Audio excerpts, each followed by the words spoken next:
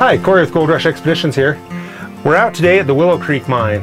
This is uh, high Colorado. We're about 10,000-ish feet. And what you're looking at here is kind of a mystery.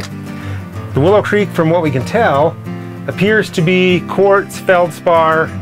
The history of it is that there were some minerals removed, but it's very vague as to how much gold, how much silver. What we see in looking around it is not a whole lot of gold or silver evidence of anything. We see a lot of evidence of mica and just a whole lot of quartz. Well, quartz does run with gold, but usually you need a good amount of iron. What I'm finding interesting is what you see right here.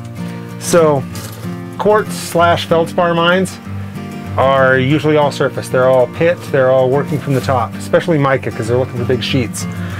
You don't cut a tunnel for a quartz or a feldspar mine. What you have here is kind of the benefit of your tax dollars again.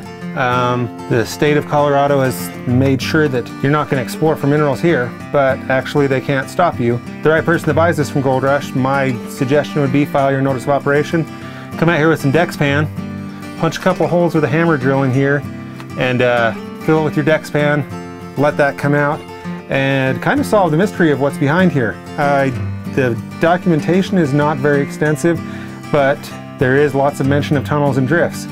This may be the only opening that is left to get into this. What you're basically tunneling into here, from what you can see, is just straight up quartz. So the minerals that you're going to intercept underground are, yeah, they're, who knows.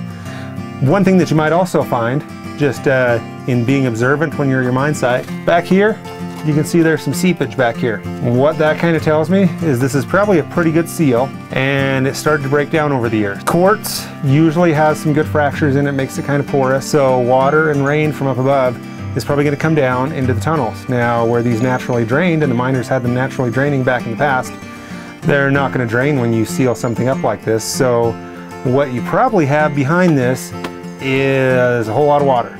So my suggestion would be when you open it up, make sure you're a little ways away. Just in case you start to open the little hole, and a little water starts to come out and then it comes out and gets you. That would suck. So just a little bit of input there on this entrance. This is the Willow Creek, um, Colorado. Let's go out and take a look at some of the other things that are out here around this mine site. It's a really large mine site as you would expect from Gold Rush Expeditions. So uh, let's show it to you. So we're outside of the Willow Creek here now. This is kind of a large, I'd almost call it a pit area, but it's just the result of it being worked over so many years. What you've got here is probably a remnant of your 50s, 60s, maybe 70s mining. Little bucket here, it's still got a little bit of yellow paint on this side. This is the type of tool that was probably used to break down a lot of this. And whether they were looking for mica at that point, what they were actually searching for, they may have been prospecting it to find those, you know, iron veins. I'm betting that when it was being used, that adit was probably open.